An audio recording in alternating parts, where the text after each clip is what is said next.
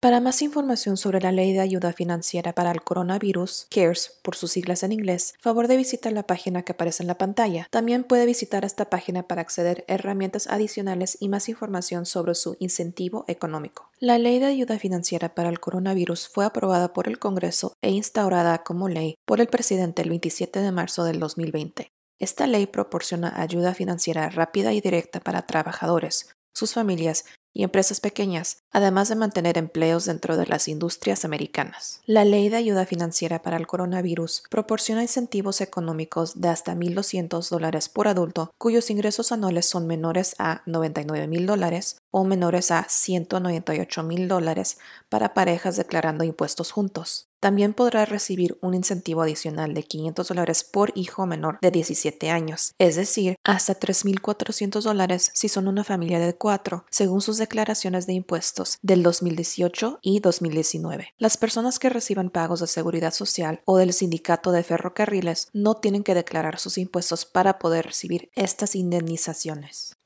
El Servicio de Impuestos Internos ha desarrollado dos herramientas para ayudarle a recibir su pago de indemnización. El Servicio de Impuestos Internos ha desarrollado dos herramientas para ayudarle a recibir su pago de indemnización. La primera es la opción de buscar mi pago, que le permite rastrear su indemnización. La segunda es la opción para aquellos que no declaran impuestos a que ingresen sus datos. Recuerde que no debe usar esta segunda opción si debe declarar impuestos. El Servicio de Impuestos Internos también ofrece una sección de preguntas frecuentes. Visite esta página si aún tiene dudas después de ver este video. Si todavía no ha hecho su declaración de impuestos del 2018 y el 2019, hágalo pronto visitando la página www.irs.gov.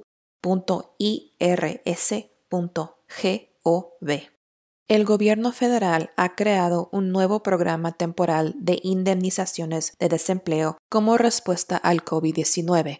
Este programa federal proporciona un suplemento adicional a las indemnizaciones de desempleo estatales, con una duración de hasta 39 semanas. El Programa Federal de Indemnizaciones de Desempleo ofrece asistencia temporal a toda persona que haya agotado la cantidad predeterminada de indemnizaciones a nivel estatal. Toda persona que reciba estas indemnizaciones podrá recibir hasta 600 dólares por semana siempre y cuando cumplan con los criterios para desempleo para la semana declarada. La Ley de Ayuda Financiera para el Coronavirus proporciona asistencia financiera para personas con préstamos federales. Los pagos a estos préstamos se están congelando o suspendiendo del 13 de marzo al 30 de septiembre. Esta suspensión temporal de cobro quiere decir que tampoco pagará intereses hasta el 30 de septiembre.